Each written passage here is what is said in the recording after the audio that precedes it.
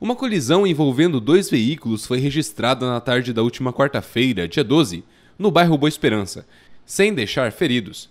O acidente ocorreu no cruzamento da Avenida São Paulo com a Rua Barão de Melgaço. De acordo com informações coletadas no local, o condutor de uma picape S10 seguia pela Avenida São Paulo, sentido bairro Beira Rio, quando colidiu transversalmente com o veículo modelo Onix branco, que seguia pela Rua Barão de Melgaço. O veículo Onix pertence à Prefeitura Municipal de Alto Alegre dos Parecis, mais especificamente à Secretaria de Educação. Nenhum dos condutores ficou ferido. Ambos motoristas permaneceram no local do acidente e aguardaram a chegada da Polícia Militar para os procedimentos necessários. As causas do acidente estão sendo investigadas. A polícia reforça a importância da atenção e do respeito às sinalizações de trânsito para evitar acidentes semelhantes.